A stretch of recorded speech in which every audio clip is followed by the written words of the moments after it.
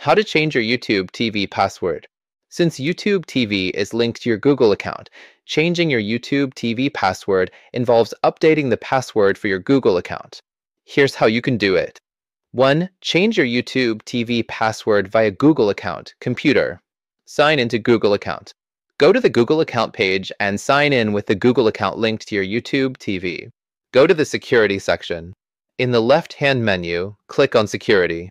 Change your password. Under the Signing into Google section, click on Password. You may need to sign in again to verify your identity. Enter new password. Enter your new password and confirm it. Click Change Password to update it. 2. Change your YouTube TV password via Google account, mobile app. Open the Google account app. Open the Google app or go to the Google account settings on your mobile device. Access Security Settings. Tap on Security. Change your password. Tap on Password under the Signing into Google section. Enter your new password and confirm it. Save changes. Tap Change Password to finalize the change. 3.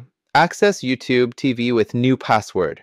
Once you've changed your Google account password, you will need to sign in again to YouTube TV using your updated credentials.